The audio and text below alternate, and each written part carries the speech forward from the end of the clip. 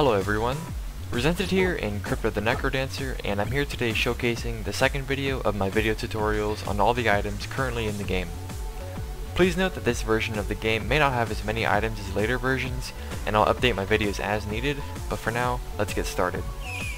In this video, I'm going to be covering the Broadsword, a really nice weapon that has a wider reach than the dagger and can hit multiple enemies at once, making it easy to take out more than one enemy at a time, as well as pulling off some tactics to not get hit by certain enemies. The attack of the broadsword hits the square in front of the direction you designate, as well as the two diagonals on either side of that direction.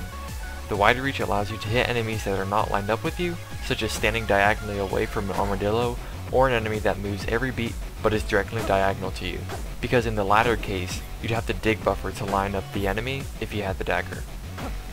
Special cases involving the broadsword include the blue slime, yellow slime, armadillo, and every enemy that can move once every beat, like a wraith, monkey, or horse skeleton. For blue slimes, they already have little strategy needed to kill them, but the strategy is non-existent with the broadsword. If you move to any square directly to the left or right of its attack pattern, you can hit it twice with the broadsword, even if the slime moves after you attack it once.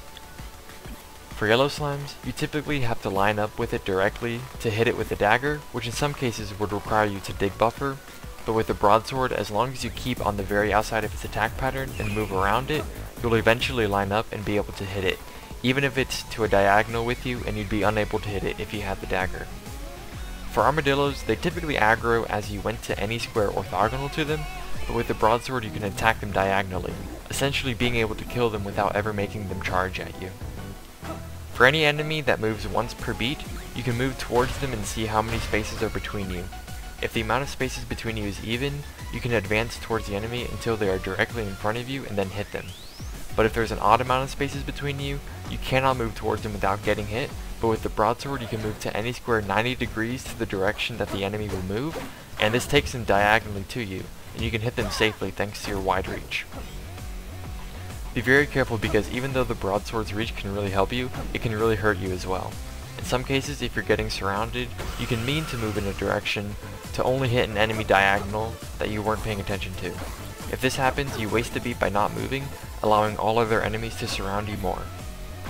You can't become a Necrodancer master by just watching videos though.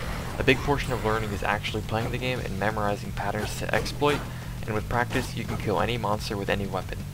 And that concludes this video on the broadsword. Please show your support by liking, commenting, subscribing, anything to show appreciation, and I'll see you in the next video.